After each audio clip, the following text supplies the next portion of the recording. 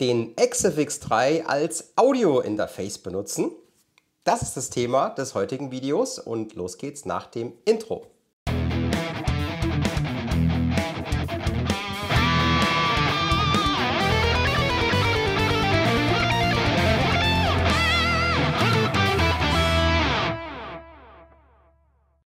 So, jetzt hast du dir diesen schönen XFX3 gekauft oder du überlegst vielleicht, den zu kaufen und überlegst, hm, jetzt muss ich ja auch noch das Zeug irgendwie, wenn ich aufnehmen will, in den Computer kriegen. Dann brauche ich ja noch ein hochwertiges Audio-Interface. Ne? Wenn ich jetzt schon so viel Geld ausgebe für äh, das geilste Gitarreneffektgerät äh, slash Sounderzeuger, das es gibt, brauchst du ja natürlich noch was, um es in den Computer zu kriegen. Und was viele nicht wissen, der XFX ist ein hervorragendes Audio-Interface. Und ich zeige dir mal, was der alles kann in diesem Video.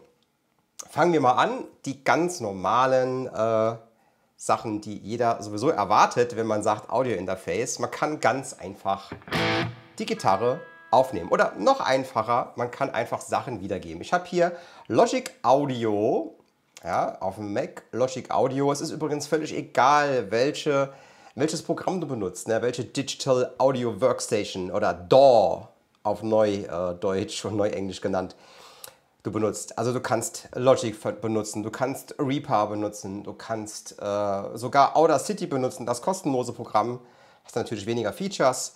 Cubase, Ableton Live und so weiter und so fort. Und da viele immer fragen, ja, wie nimmst du das jetzt auf? Äh, also hier läuft gerade ein ziemlich komplexes Setup. Die Kamera hier speichert auf SD-Karte einfach nur das Video. Das Mikro, was ich hier anstecken habe, geht in Ableton Live im Computer über mein äh, Audio-Interface RME äh, Babyface Pro. Da geht auch der Ausgang Out 1 vom XFX rein, damit ich das Mikrofon aufnehmen kann und das, was aus dem XFX rauskommt, weil ich will hier das Audio-Interface demonstrieren.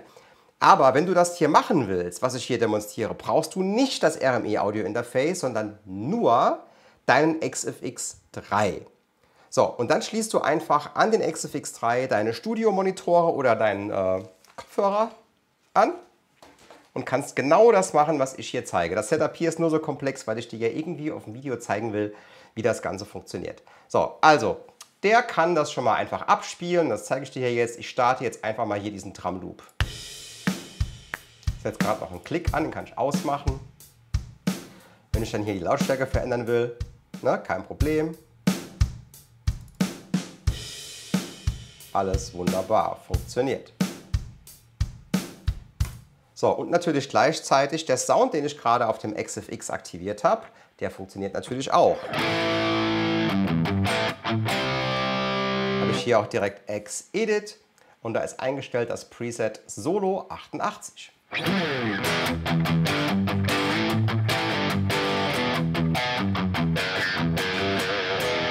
Weil ich eben dran rumgebastelt habe, deswegen rufe ich es mal gerade neu auf. So, so klingt das Preset.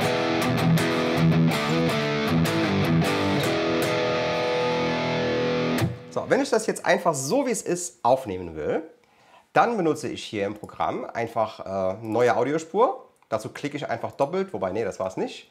Ich muss hier auf Plus drücken und dann kann ich eine Audiospur auswählen, ganz normal. Eingang 1 und 2, Output 1 und 2, Aufnahme aktivieren. So, jetzt siehst du hier am Ausschlag schon, was ich hier aufnehmen kann. Jetzt nehme ich mal einen ganz simplen Power Chord Riff auf. So, klick.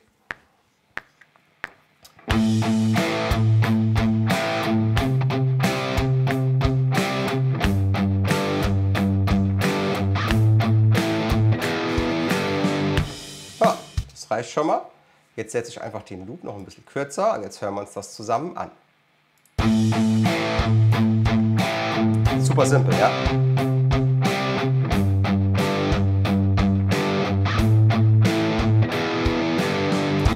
So, du hörst nur, wie gesagt, das, was ich aus dem XFX, aus dem Output 1 aufnehme, das hörst du. Ja? Und mein Mikrofon dazu. Deswegen ist es so ein bisschen, äh, wenn die Gitarre, ne, die hörst du auch übers Mikrofon.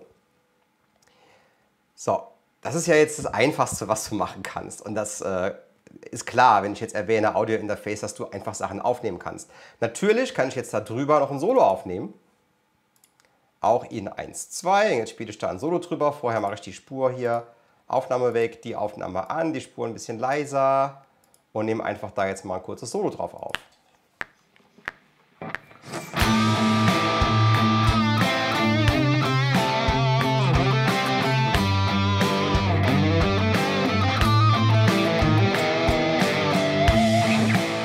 Und fertig.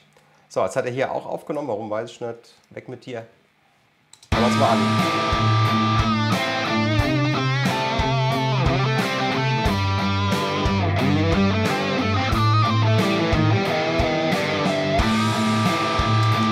So, die ganze Bearbeitung von dem Gitarrensound passiert jetzt nach wie vor im XFX. Das heißt, ich belaste jetzt den Rechner hier äh, überhaupt gar nicht. Das heißt, du kannst 128 Gitarrenspuren aufnehmen und das sollte eigentlich sogar äh, äh, ein älteres Laptop, fünf Jahre altes Laptop ohne Probleme mitmachen, weil du ja nicht Softwareinstrumente benutzt, sondern benutzt den XFX als äh, Soundschmiede und als Audiointerface. Keinerlei Belastung des Hostrechners. Ist ein riesengroßer Vorteil.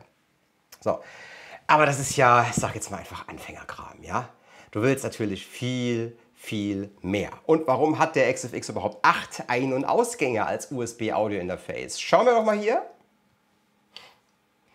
Was machen denn die einzelnen Eingänge? Computer-Eingänge. Also das, was ich hier auswähle bei Logic unter In. Und wenn ich da jetzt hier auf äh, gucke, Eingang 1, 2, 3, 4, 5, 6, 7, 8.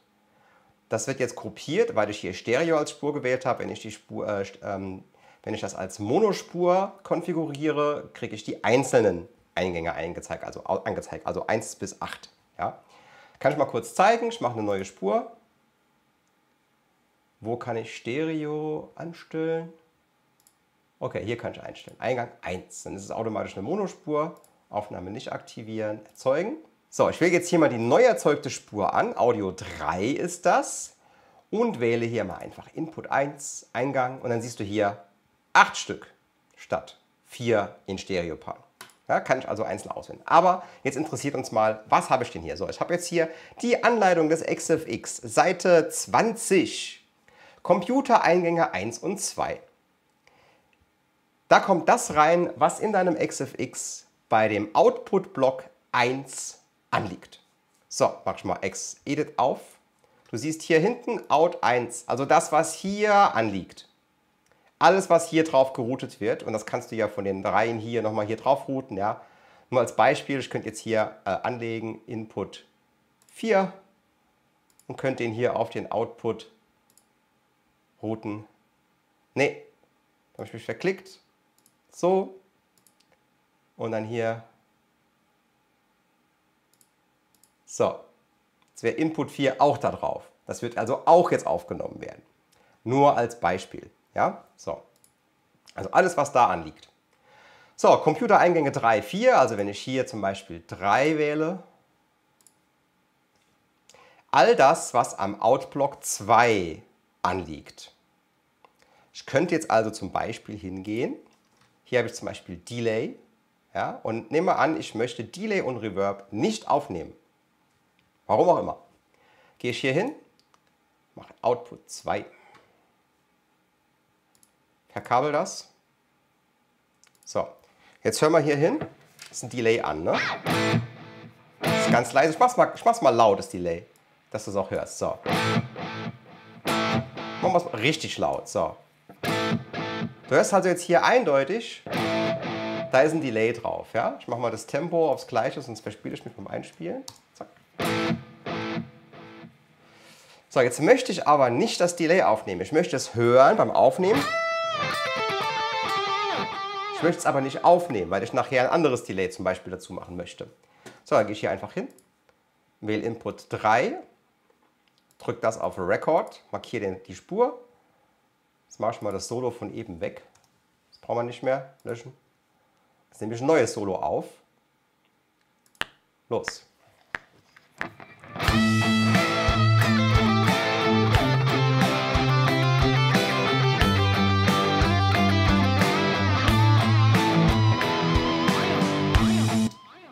So, jetzt hast du eindeutig gehört, beim Einspielen war das Delay an. Hören wir uns mal an, was der aufgenommen hat.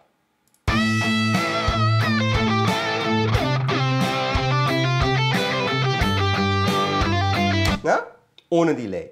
Wenn ich jetzt zum Beispiel sage, okay, ich möchte das Delay gerne in Logic dazu machen, wozu es eigentlich keinen Grund gibt, aber könnte ich ja jetzt machen, könnte ich jetzt hier zum Beispiel hingehen, könnte sagen, Audio FX, äh, du siehst, dass ich das nie mache, Delay, hier ist es, Tape Delay, könnt das hier dazu machen, ja.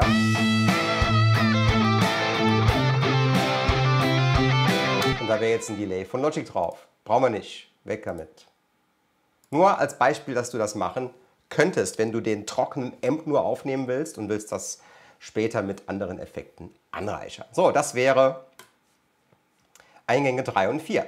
So, jetzt wird es interessant und da gibt es aber noch ein extra Video dazu, weil das hier sonst zu lang wird. Stichwort Reamping. Du könntest jetzt auch hier die Eingänge 5, äh, mit 5 und 6 nur den Eingang vom XFX aufnehmen. Also das, was die Gitarre reingibt. So, das machen wir jetzt hier mal. Ich mute mal die zwei Spuren und ich nehme jetzt nur das auf, was am Input anliegt, mit Input 5, 6. So, du hörst immer noch das Preset, was gerade im XFX aktiv ist. Ja? Du hörst immer noch dieses Preset. Deswegen mache ich jetzt mal Delay aus, mache das hier auch mal weg, ja, brauchen wir nicht mehr. Aber er nimmt jetzt nicht das auf, sondern nur das, was am Input anliegt. Record Enable und los.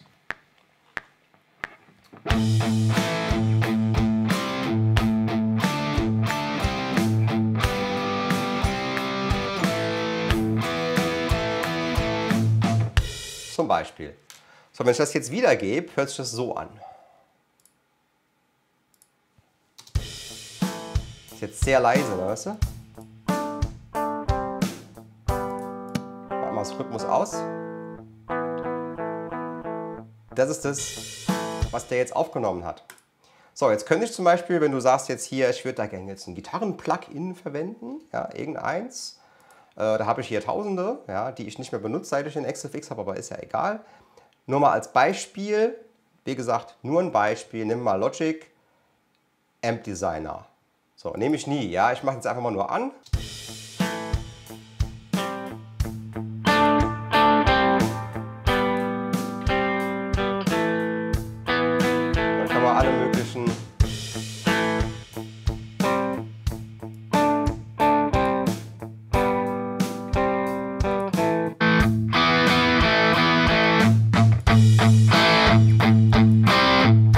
Jetzt nur als Beispiel, niemand, der einigermaßen bei Sinnen ist, würde, wenn er eine XFX 3 hat, den Logic Amp Designer nehmen. Aber es wäre möglich, wenn du das denn möchtest. So, und dann haben wir noch Computereingänge 7 und 8. Die nehmen das auf, was an Input 2 anliegt. Da könntest du jetzt zum Beispiel einen externen äh, Mikrofonvorverstärker anschließen und gleichzeitig Gesang aufnehmen. Ja? Dafür wäre das. Das mache ich jetzt nicht vor. Äh, meine Stimme ist noch so ein bisschen belegt, hier schön Erkältung und so. Deswegen mache ich es jetzt nicht vor. Aber das könntest du machen. Und jetzt gehen wir mal noch ganz kurz drauf ein, bei die Ausgänge. Ich bin ja jetzt die ganze Zeit rausgegangen über Ausgänge 1 und 2. Das kann man bei Logic hier einstellen. Das geht bei deiner DAW dann anders. Also wie gesagt, das ist kein Tutorial für ein spezielles Programm, das ist einfach nur die Möglichkeiten. Das kannst du auch mit Cubase machen, mit Ableton Live und so weiter. Die haben auch die Einstellungen für die Ausgänge. So, wenn ich jetzt hier zum Beispiel diesen Ausgang nehme, ja, dann könnte ich hier, der ist jetzt auf Stereo geschaltet, ich könnte den aber auch auf die anderen Paare legen. Und dann gucken wir uns jetzt mal an in der Anleitung, was machen denn die anderen Paare. So, erstmal 1 und 2 gibt das wieder, was an Output 1 anliegt.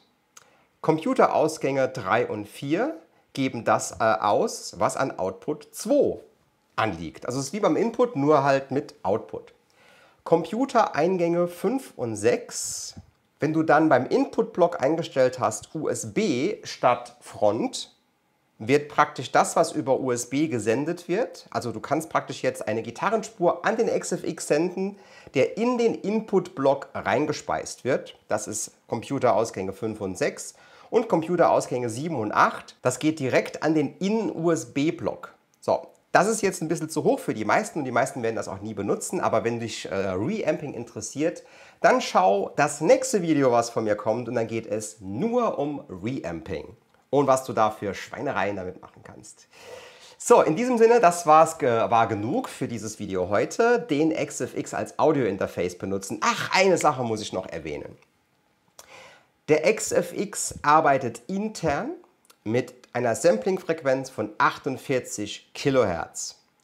So, und äh, du solltest auch, wenn du mit einem Programm arbeitest, die Sampling-Frequenz auf 48 Kilohertz stellen, damit da keine sogenannte Sampling-Conversion, eine, eine Sample-Raten-Konvertierung stattfindet, was eine theoretische, aber meistens nicht hörbare Qualitätsverschlechterung mit sich bringen würde. Aber ich kann hier komischerweise in Logic auf 44,1 einstellen mit dem XFX und äh, 88,2 oder wie viel das auch immer ist und 96 kHz. Das funktioniert auch. Da passiert dann in Logic wahrscheinlich eine Sample Rate Konvertierung. Ist dann nur sinnvoll, nehmen wir an, du hast ein Projekt, das ist mit 44,1 aufgenommen und du möchtest gerne Gitarrenspuren mit dem XFX einspielen. Bei mir geht das. Ich gebe dafür jetzt keine, äh, keine Garantie. Ich habe schon von Leuten gehört, da ging das irgendwie nicht. Warum auch immer. Bei mir geht's. Das ist nur ein Hinweis. Also optimal wäre mit 48 Kilohertz aufzunehmen. Und dann ist es noch ein bisschen Spezialität, wenn du auch schon andere Audio-Interfaces benutzt hast. Deswegen gehen wir jetzt mal hier kurz in die Einstellungen von Logic. Die IO-Puffergröße 256 habe ich hier gewählt. Das wäre, wenn du Softwareinstrumente spielst, viel zu viel. Aber da du ja hier immer den Sound normalerweise den Sound über den XFX hörst, ja, also den Gitarrensound, der wird im XFX gemacht, brauchst du eigentlich nicht mehr und das äh, beansprucht den Computer nicht so sehr. Also wenn du jetzt hier runter auf 32 Samples gehen würdest, was das niedrigst mögliche ist, würde der Computer sehr beansprucht, brauchst du hier nicht. Wichtig ist hier, diese Sampling-Frequenz musst du im XFX auch einstellen. So, das ist aber sehr fortgeschritten und das wird in der Anleitung auch beschrieben. Lass es einfach auf 256 stehen. Das ist das, was voreingestellt ist im XFX. Sonst wird das hier alles viel zu komplex und man braucht es nicht. Okay, in diesem Sinne, das war's für heute. Wenn dir das Video gefallen hat, gib mir doch einen Daumen nach oben. Wenn es dir nicht gefallen hat, auch gerne Daumen nach unten. Ansonsten bin ich für heute fertig. Kanal abonnieren, wenn du mehr davon sehen willst. Und äh, ansonsten bis dann, mach's gut. Ciao.